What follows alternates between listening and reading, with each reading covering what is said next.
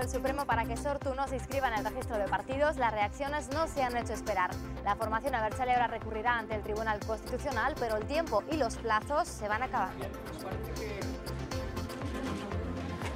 Pienso que, que es una sentencia, yo creo que adecuada al pensamiento de la sociedad, que no quiere otra cosa que ETA desaparezca. Estamos ante un absoluto escándalo político, jurídico y democrático que no tiene ninguna base eh, jurídica, ni política, ni democrática. Buenas tardes. El Supremo prohíbe que Sortu esté en las próximas elecciones, pero eso sí, no ha sido una decisión unánime. Enseguida vamos a escuchar todas las reacciones que ha habido a este rechazo del Supremo, una decisión que sin duda ha acaparado buena parte del Pleno del Parlamento de Navarra esta mañana, pero no ha sido lo único. Y es que hoy es un pleno muy especial para el presidente del Gobierno de Navarra. Es el último pleno de Miguel Sánchez. Y con ese aplauso le ha respondido la Cámara Foral. Sanz ha querido despedir de todos sus compañeros del arco parlamentario después de 24 años asistiendo a la Cámara. Una emotiva despedida y es que 24 años dan para mucho. Esta palabra, en este adiós, siempre encontraréis mi agradecimiento, mi comprensión a la labor que realizáis y mi lealtad y compromiso con Navarra y sus ciudadanos. En plena crisis económica de Portugal, buenas noticias aquí en Navarra, que fue la comunidad que más creció en 2010. La comunidad foral tuvo un incremento del Producto Interior Bruto del 1,2%, una cifra, eso sí, que se sitúa por debajo del crecimiento medio de la Unión Europea. La Audiencia Nacional ha declarado nula la normativa que regula el canon digital desde 2008. Según esta decisión, este canon solo se ha de aplicar ahora en los soportes que vayan destinados a copia privada, pero no al resto. Así que el destinatario final debe ser un particular y las empresas quedarían exentas. Lorenzo y su madre Soledad viven solos en este caserío en Arizcún. Viven bastante aislados, pero a partir de ahora algo más seguros gracias a esta campaña de la Policía Foral que se encarga de visitar a los mayores que viven en viviendas aisladas. Con un solo clic podemos a partir de ahora pedir cita previa en 17 centros de salud de Navarra. Se pretende así facilitar a la ciudadanía su relación con el Servicio Navarro de Salud. Y en deportes, derrota de Osasuna frente al Mirandés por 1 a 2, un partido deprimente en el que Mendilibar dado minutos a los no habituales, pero estos no han sabido estar a la altura. Por cierto, que Mendilibar era el invitado especial anoche de nuestro programa Más, donde concedía la primera entrevista a una televisión. Y en el fútbol los ciclos son muy cortitos, muy cortitos. Eh, espero que el mío en, en, Pamplona, en Osasuna, sea, sea largo, porque yo hasta ahora por lo menos estoy muy bien y espero que también estén muy bien conmigo. Canal 6 Noticias. Ainhoa Hernández. Es la noticia de hoy la que más reacciones ha suscitado. El Supremo ha denegado a Sortu su inscripción en el registro de partidos del Ministerio de Interior por entender que es una continuación de Batasuna. La formación Abertzale recurrirá ante el Constitucional. La Sala 61 del Tribunal Supremo prohíbe la inscripción de Sortu en el registro de partidos políticos, pero por vez primera su decisión no ha sido unánime y el auto contará con varios votos particulares.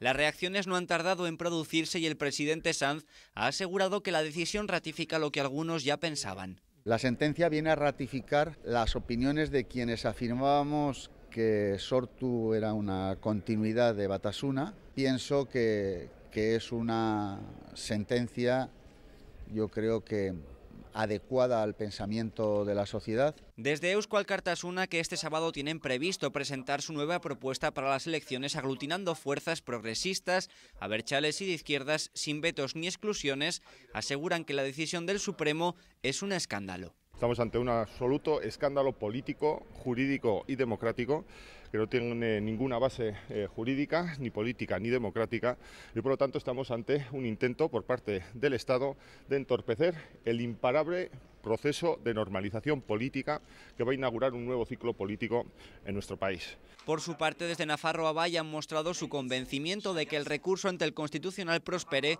y que Sortu pueda ser inscrito.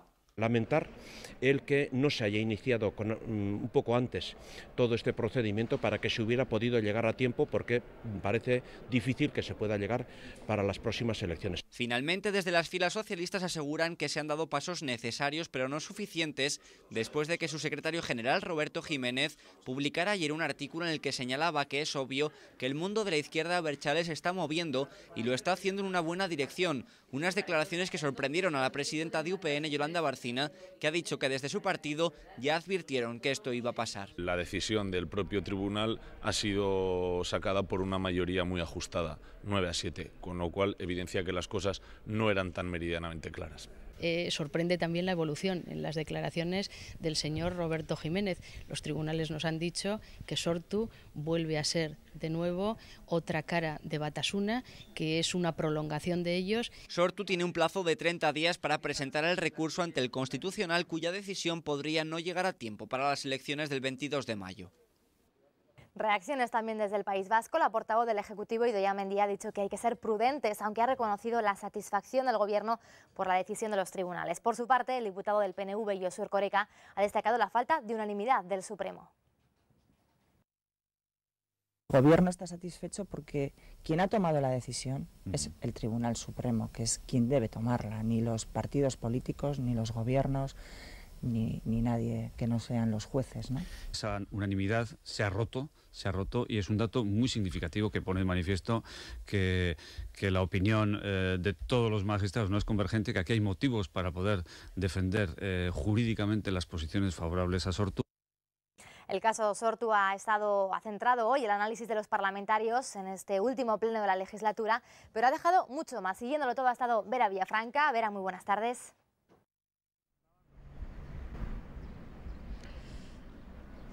Sí, pues así es. Efectivamente, la sentencia del Supremo sobre Sortu ha centrado hoy buena parte de la información aquí en el Parlamento de Navarra, pero hoy había mucho más. El próximo lunes se disuelve el Parlamento de la séptima legislatura y hoy era día de despedida, su último pleno y un pleno que ha tenido un protagonista indiscutible. Hoy el presidente Sanz decía adiós a su vida parlamentaria tras 24 años en la actividad de la Cámara Foral. Hoy ha sido el objeto de todos los flashes, de todas las miradas y ha querido despedirse de todos desde la tribuna parlamentaria.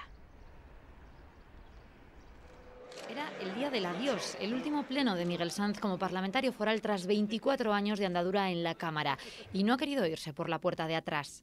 Intervengo en este pleno, que probablemente será mi último, para despedirme como parlamentario de todos ustedes.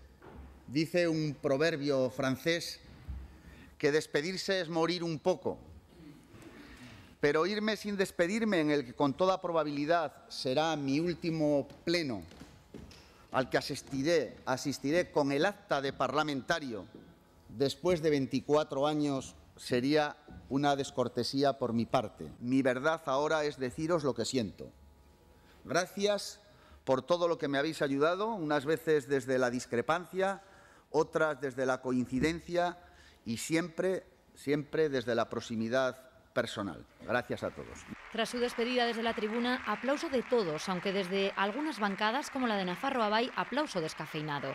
El presidente dice no toma nota. No, no me he fijado quién, no, no me he fijado en quién no se ha levantado, pero bueno, no, no pasa absolutamente nada, ¿no? Trato de cumplir con las obligaciones de la cortesía parlamentaria. Le he dedicado tres aplausos. Aplausos al margen, dice que se va con nostalgia. Un trago, eso sí, que ya tenía asumido. Complicado, pero desde el punto de vista personal, pero al mismo tiempo también bueno, pues plenamente asumido. ¿no? Algunos oponentes políticos dicen que se le echará en falta. Es un hombre de raza, eh, que no se asusta como quiera. Sí, yo creo que todos le echaremos un poquito de menos. Yo creo en la política también que sabe reconocer al adversario cuando ha dedicado tiempo, cuando ha dedicado esfuerzo. Desde la prensa echaremos en falta sus frases características. Hay que estar permanentemente pedaleando para no caerte de la bicicleta, porque la verdad es la verdad, la diga Agamenón o su porquero. Así se define él. Reflexivo. Y así le definen sus adversarios. Apasionado. Un hombre comprometido. Deficitario. Desigualitario.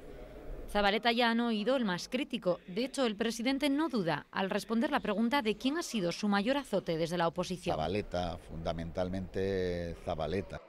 24 años de trayectoria parlamentaria que se terminan ahora con este último pleno. Sanz seguirá al frente de la presidencia unos meses, pero hoy ha corrido su último sprint en el Parlamento.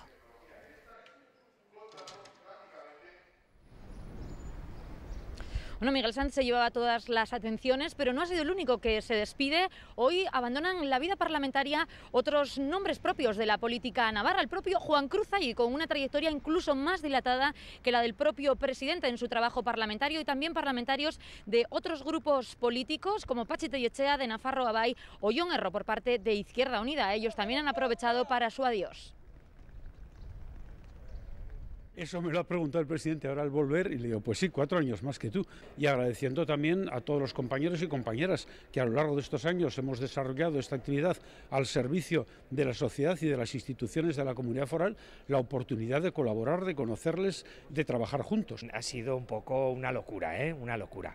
Me ha subido el colesterol, eh, el nivel de estrés muy alto, no he podido hacer deporte y entonces ahora pues me voy a dedicar a eso, a leer literatura, a pasear, a hacer deporte. La decisión estaba tomada ya hace un tiempo y, era el momento de, abandonar lo que es la actividad política y, poder dedicarme a, a, otras actividades. Yo creo que ha sido una legislatura muy intensa en cuanto a actividad parlamentaria se refiere. Se han abordado temas que realmente preocupan a la ciudadanía y desde el punto de vista eh, parlamentario hemos intentado darle respuesta a las demandas y a las inquietudes de la ciudadanía. Bueno, pues eh, nos despedimos desde el Parlamento de Navarra en un día en el que las despedidas han sido precisamente la nota dominante, el principal titular que nos ha dejado esta jornada, en la que también han prosperado algunas otras leyes. Hay que recordar, eso sí, que el pleno que hoy ha arrancado es el último, pero continuará también mañana viernes. Desde el Parlamento de Navarra es todo, Ainhoa. Muchas gracias, Vera. Pues como nos explicaba nuestra compañera, el Pleno ha dado más de sí y ha aprobado por unanimidad la Ley Foral de Juventud, que incluye el compromiso del Gobierno foral de poner en marcha en el plazo de dos años un plan de juventud integral. Se trata de una ley moderna y ambiciosa, como ha definido la propia consejera de Asuntos Sociales, de Juventud y Deporte del Gobierno de Navarra, María Isabel García Malo. La ley tiene como objeto regular una política específica y otra transversal con el fin de atender el nuevo escenario social que, producto de la modificación de las estructuras familiares y del mercado de trabajo, dificulta la emancipación juvenil.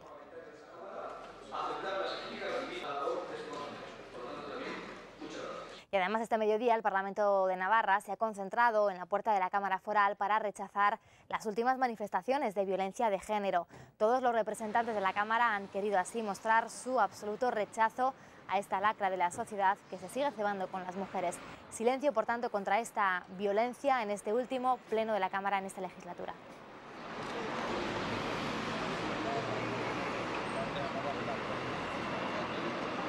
En clave económica y mientras las cosas se complican y mucho para Portugal, buenas noticias para Navarra, que fue la comunidad autónoma que más creció en 2010, con un incremento del Producto Interior Bruto del 1,2%, una cifra, eso sí, que se sitúa al igual que el resto de las regiones españolas por debajo del crecimiento medio de la Unión Europea. Las comunidades autónomas que más crecieron fueron Navarra, País Vasco, Castilla y León y Asturias, según la contabilidad regional de España del Instituto Nacional de Estadística. Además de estas cuatro, otras siete comunidades obtuvieron registros de crecimiento mejores que la media nacional.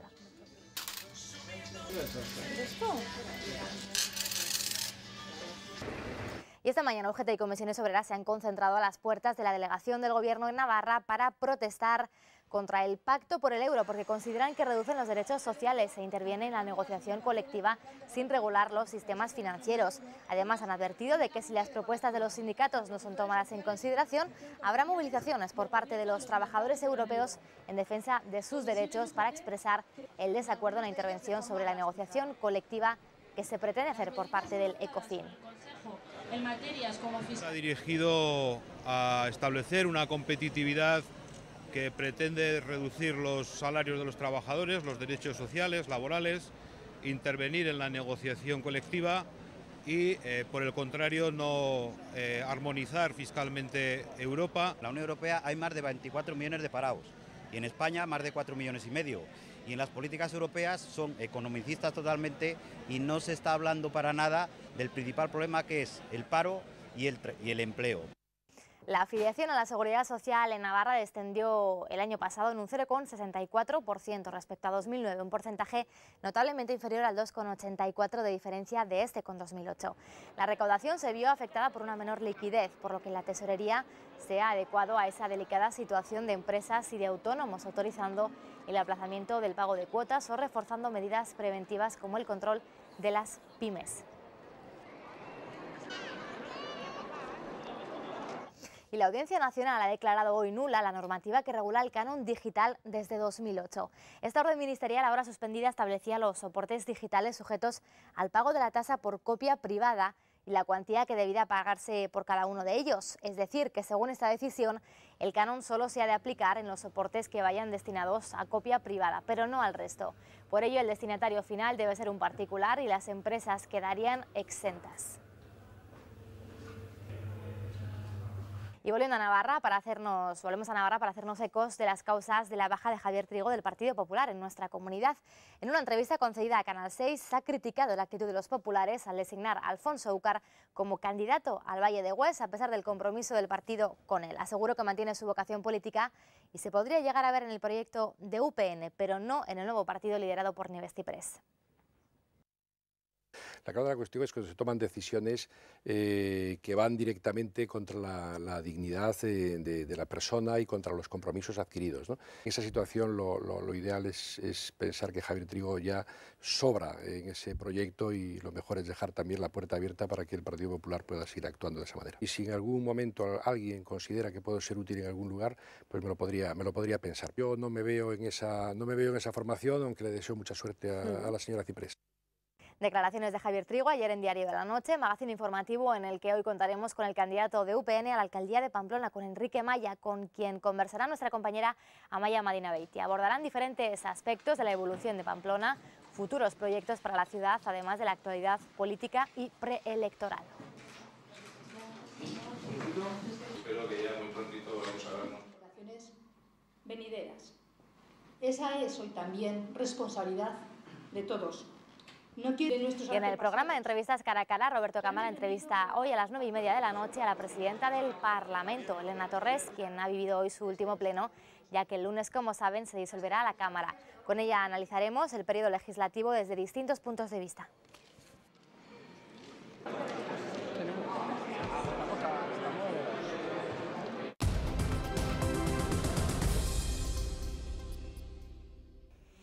ANFAS ha organizado esta tarde una mesa redonda con los principales partidos políticos de Navarra. En ella se va a hablar fundamentalmente de políticas sociales y en concreto de políticas relativas al mundo de la discapacidad. Van a participar Yolanda Barcina, Roberto Jiménez, Pachi Zabaleta, José Andrés Burguete, Marisa de Simón y Santiago Cervera. Después de sus intervenciones se abrirá un turno de preguntas entre el público. La entrada es libre hasta cubrirse el aforo. La jornada se enmarca en las actividades organizadas por ANFAS con motivo de su 50 aniversario. El acto será en Civicán a partir de las 7 de esta tarde. La Policía Foral de Elizondo ha puesto en marcha una campaña denominada Ningún mayor solo en los caseríos.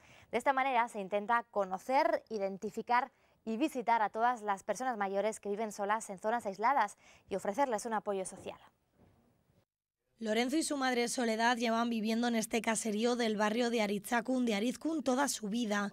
Viven en tranquilidad rodeados de naturaleza y animales. No tienen vecinos, aunque aseguran que siempre pasa alguien. 14 kilómetros de pista pedregosa les separan de la Nacional 121B y solo un sendero de 2 kilómetros conectado con Francia les evita estar incomunicados. Ahora han recibido una visita muy especial. ¿Qué tal? Buenos días. Hola, ¿qué tal? Muy bien. Lorenzo y Soledad, ¿verdad? Sí, eso mismo. ¿Qué tal usted? Encantado. Bien. ¿Está bien? Pues mire, venimos por la campaña que hemos iniciado desde la comisaría de Elizondo, en la que visitamos a todos los vecinos que viven en, caseríos un poquito aislados.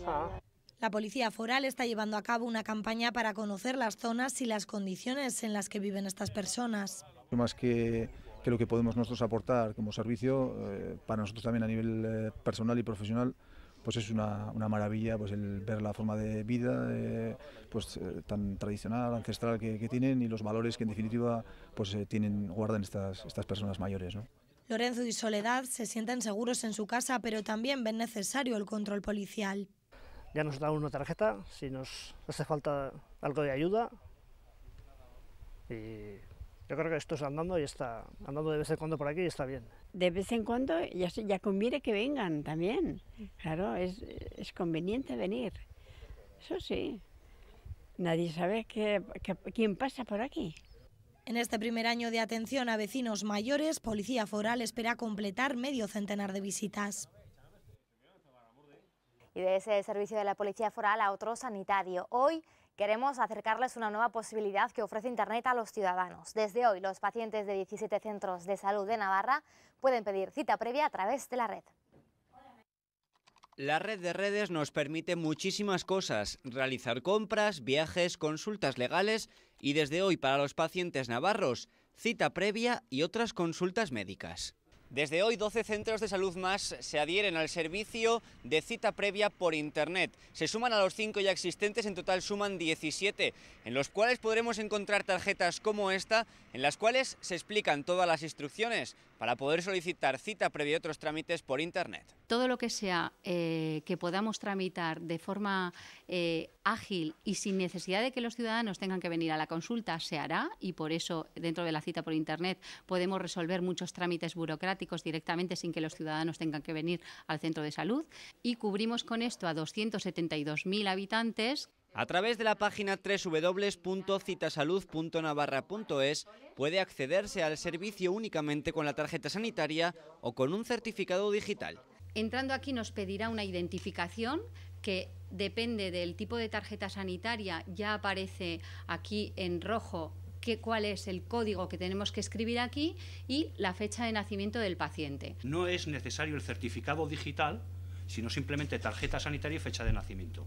Lo que pasa que si accedes a través de certificado digital, tienes un plus de ciertas consultas que no tienes si, si, no de, de, obtener consultas, sino un plus de revisar consultas pendientes o de modificar las consultas.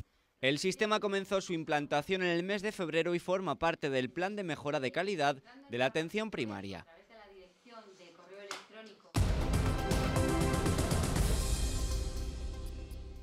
Abrimos ya nuestra crónica internacional. La televisión estatal libia ha mostrado hoy unas duras imágenes de cadáveres que aseguran son de civiles y militares muertos en los bombardeos que la coalición internacional llevaba a cabo anoche en el barrio de Tayura, al sur de Trípoli. Los aviones de la coalición internacional que han impuesto la zona de exclusión aérea en Libia bombardearon anoche en sucesivas oleadas el sur de la capital, según ha dicho esta televisión estatal. Los aviones de la coalición internacional que han impuesto la zona de exclusión aérea en Libia bombardeaban esa zona del sur de la capital y la televisión estatal añade también que hubo ataques aéreos sobre las ciudades de Seba y Jafra, al sur del país.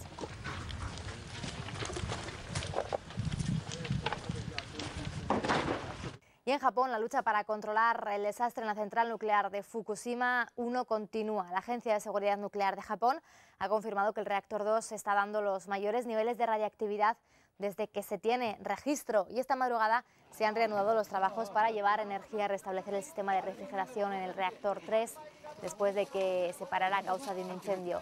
El gobierno metropolitano de Tokio ha anunciado esta noche que va a distribuir agua embotellada a las familias con bebés en la capital y en cinco ciudades afectadas por niveles de yodo radiactivo en el agua corriente y también van a pedir a las empresas de agua mineral que aumenten la producción.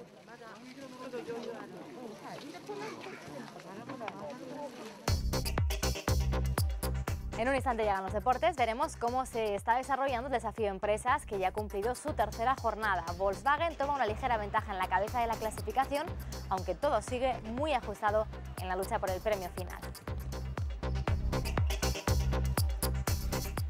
Y este violín gigante de Pablo Sarasate ya forma parte del Fondo Artístico de la Universidad Pública de Navarra. Se lo ha cedido el Ayuntamiento de Pamplona. Es obra de Sagrario Martín.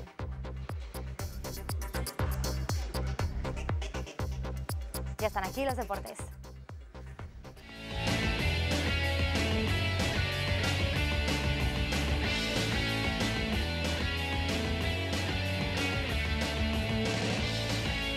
Disfruta de la nómina que te da todas las ventajas. Servicio nómina te lo mereces de Caja Rural.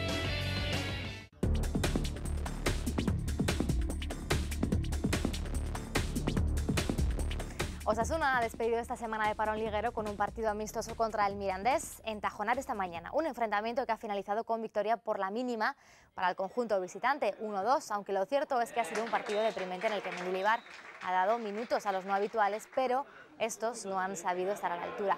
Una de las notas positivas de este encuentro ha sido la vuelta de Pandiani, que ha jugado sin resentirse de su lesión los últimos 20 minutos. Aunque quien ha jugado todos los minutos ha sido Oyer, que ha acusado el cansancio de la semana. Estábamos bastante cansados por los tres días que hemos entrenado esta semana. Y bueno, pues sensaciones buenas también, pues porque al final es un partido que, bueno, yo me lo he tomado con mucha ilusión porque quiero demostrarle también al míster, ¿no? No es lo mismo jugar contra un equipo de primera que contra un segunda B, aunque hoy no se hayan ganado, ¿no? Pero te digo que hoy pues, se lo he cogido con ganas y con ilusión, un poco apenado pues porque el cansancio no me ha dejado tampoco jugar todo lo mejor que podía, pero contento de disputar por lo menos 90 minutos otra vez. Y anoche José Luis Mendilíbar fue el invitado especial del programa Más de Canal 6. El entrenador de Osasuna hizo un repaso del presente y el futuro del equipo ahora que ha logrado huir de los puestos de descenso.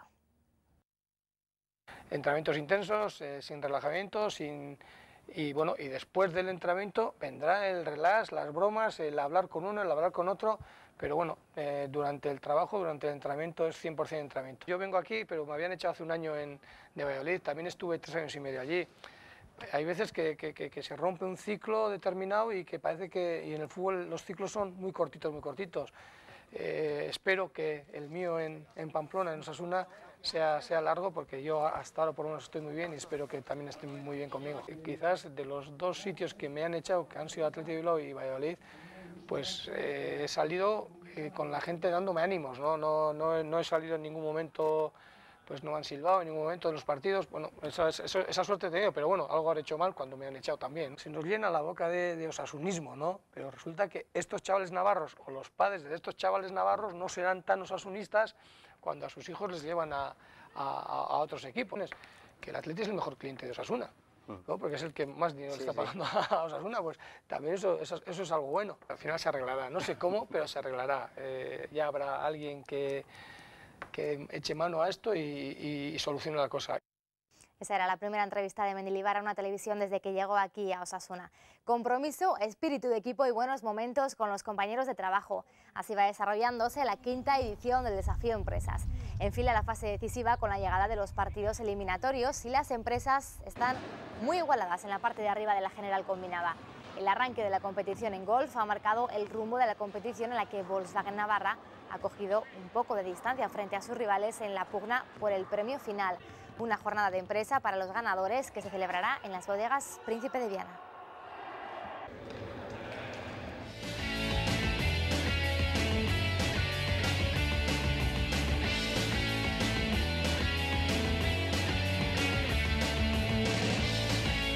Disfruta de la nómina que te da todas las ventajas. Servicio nómina te lo mereces de Caja Rural. Seguimos con tiempo típico de primavera, por lo tanto muy cambiante. Tras el día soleado de ayer, hoy de nuevo tenemos más nubes y será posible algún chubasco antes de que acabe el día. Mañana y el sábado días con nubosidad variable, temperaturas suaves y riesgo de algún chubasco vespertino y ya el domingo tiempo más inestable. ¿Y si este año no para de llover? No dejes tu futuro en manos del clima.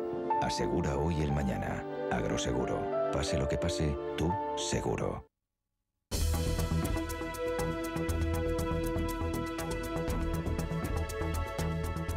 O con intervalos nubosos en la mayor parte de la península y Baleares, con chubascos débiles o localmente moderados en el cuadrante noroeste, Extremadura y Meseta Sur, ocasionalmente acompañados de tormentas. Situación que con menor probabilidad podría darse también en otras zonas de la península, en Canarias, poco nuboso.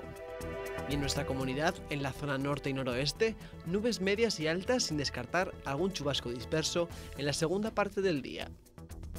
En el este y sur, nubosidad de niveles medio y alto, siendo posible algún chubasco poco importante y disperso por la tarde o noche. En la zona oeste y centro, nubes medias y altas y posibilidad de algún chubasco disperso en la segunda mitad del día. Las temperaturas en ligero ascenso. los vientos del sureste flojos o moderados.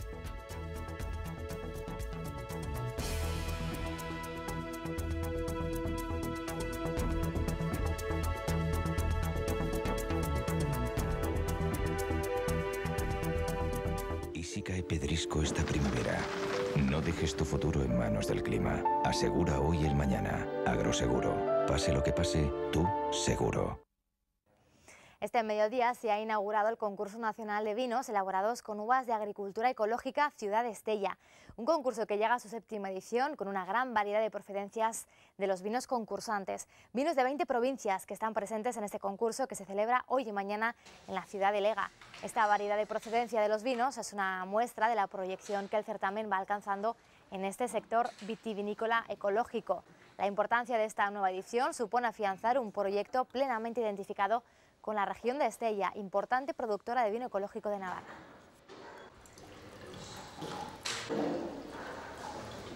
La Universidad Pública de Navarra ha incorporado a su fondo artístico un violín gigante cedido por el Ayuntamiento de Pamplona, uno de los que formaron parte de una exposición promovida con motivo de la celebración en 2008 del centenario de la muerte de Pablo Sarasate. Este violín es obra de Sagrario Martín, una obra colorida, con flores, letras, notas musicales y con una partitura del Capricho Vasco de Pablo Sarasate. La obra pasa a formar parte así del patrimonio artístico de la Universidad Pública, que está constituido por un más de centenar de obras.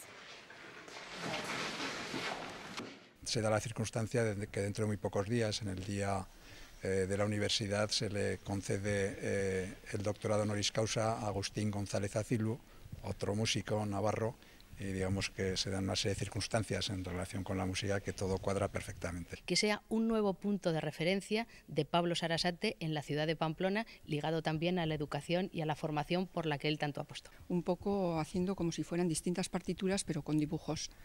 Y eso es, y la verdad es que gocé muchísimo pintándolo, disfruté un montón. La baronesa Thyssen ha estrenado un museo. Está en Málaga, en el Palacio de Villalón, y alberga 230 pinturas de la colección de Carmen Cervera. Carmen Cervera está de nuevo enamorada. Enamorada de Málaga. Me gusta mucho Málaga, el colorido de Málaga es precioso. Y el colorido de Málaga se aviva con estos cuadros. Con el nuevo museo Carmen Thyssen. Presto la colección gratuitamente y son muchos sacrificios. Un museo en un palacio, el Palacio de Villalón, que da cobijo a obras que antes decoraban su casa. Y me siento feliz de que se puedan enseñar al mundo, al público. En total 230 pinturas, todas españolas, de los siglos XIX y XX. Hay pintores maravillosos, al que los hemos tenido un poco olvidados. Como el que pintó a la mujer morena, Julio Romero de Torres, o como Zuluaga, una colección que le recuerda a su marido. Con él aprendí cómo es llevar una colección privada. Hoy también piensa en su hijo. Ojalá viniese, me encantaría. Se le ha mandado una invitación. Y aquí la espera, en esta ciudad vestida de gala, para recibir a una baronesa con mucho arte. Ese arte nos vamos. Muchas gracias por habernos acompañado. Feliz tarde. Adiós.